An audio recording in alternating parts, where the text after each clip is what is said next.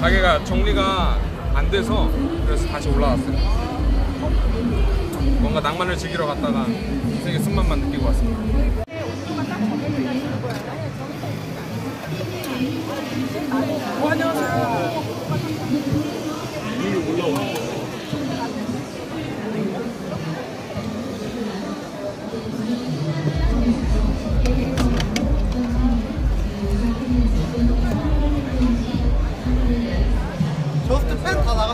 아니요 있어요. 조금만 기다려 주실래요? 어, 예.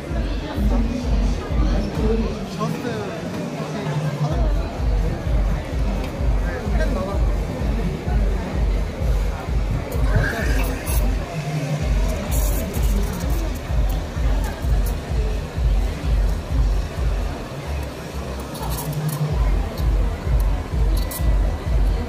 어 스팀 치다 깜빡 던질 뻔했어요. 지금 드시는 커피는 호주 오나 커피의 라즈베리 캔디 블렌딩입니다.